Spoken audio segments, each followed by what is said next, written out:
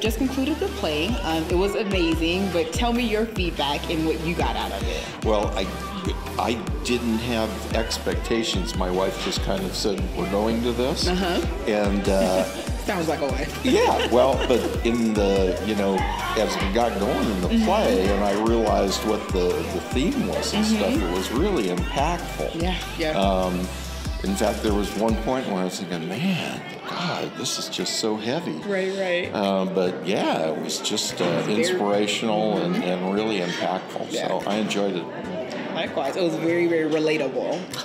Well, yeah, uh, anybody can relate to some of those uh, issues. Yeah, you know, yeah. Mm-hmm. either you know somebody with them or you've had personal experience. So, and uh, the the metaphor of damaged goods Uh-huh. But still usable, I just that was brilliant. It was. I agree. I cannot agree with you more. Yeah, so Come yeah, great experience. Yeah, damaged goods. You are still usable.